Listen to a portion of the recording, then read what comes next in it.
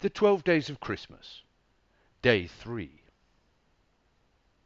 Hello, this is Harrods of Knightsbridge. Reginald speaking. How may I help you? Oh, yes, sir. We are becoming quite chatty together, aren't we, sir? and how might I assist you today?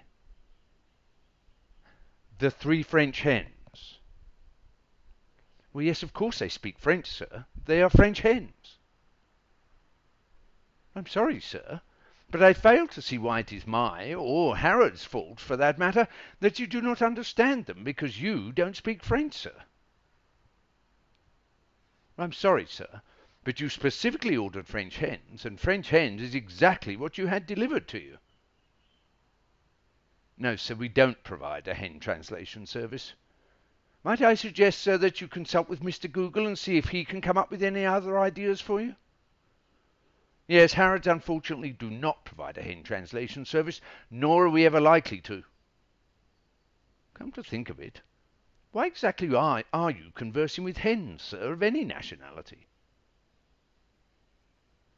Coq au vin, with mushrooms, avec champignons. Yes, I must say it does sound very tasty, sir.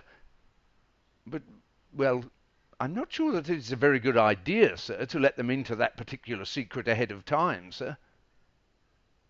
Hello, sir? Hello, sir, are you still there?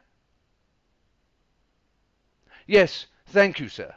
Yes, Reginald, sir, that's right. Thank you, sir. Oui, monsieur, merci. Oui, Reginald, monsieur. C'est vrai. Merci, monsieur. Au revoir.